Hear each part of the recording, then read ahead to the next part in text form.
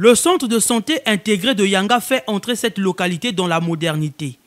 Les populations de Yanga trouvent désormais la joie de bénéficier de soins de premier recours, d'activités de diagnostic et bien d'autres services dans des conditions améliorées. Nous étant population de, Yanga, on n'attendait pas de tels cadeaux parce que ici pour les, pour les soins, on avait des difficultés à trotter 9-10 km avec euh, le malade.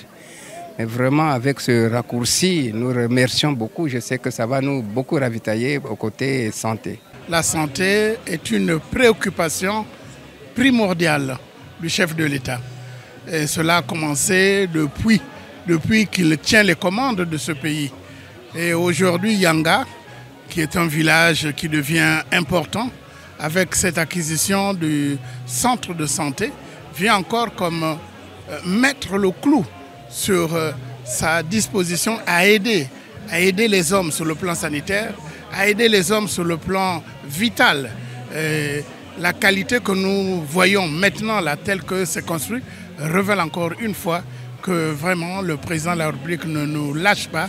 Pour le médecin chef du district sanitaire de Madingonka Nzambi, le docteur Pierre Onze Moukoko, cette dotation modernise effectivement leurs conditions de travail. C'est la continuité n'est-ce pas, la continuité, la permanence de nos services envers cette population de Yanga.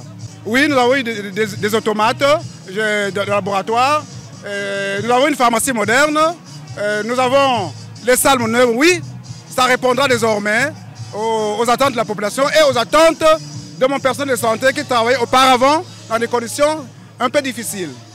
Mais vous avez tout suivi comme euh, Madame la Première Dame m'a remis les clés. Effectivement, ça c'est une valeur ajoutée pour nous. Ça, ça, nous booste encore, ça nous stimule de travailler de plus belle pour améliorer et améliorer nos performances sanitaires.